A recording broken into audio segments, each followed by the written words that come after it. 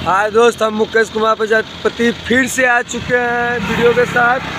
तो हमारी टाटा योद्धा तो टाटा योद्धा हमारी रात को बताए थे ब्रेक पाइप फट गया था।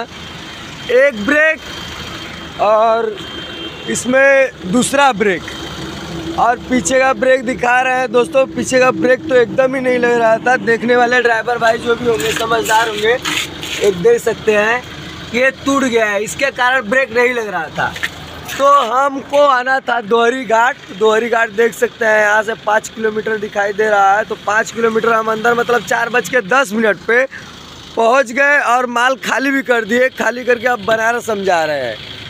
तो हमारी ये टाटा योद्धा के लिए एक लाइक, एक शेयर, एक कमेंट करिए, क्योंकि ऐसी गाड़ी हमने नहीं देखी कि तीन टन बत्तीस कुंटल माल लोड करके दो चक्का के ब्रेक पे चार से पाँच सौ किलोमीटर गाड़ी चली है।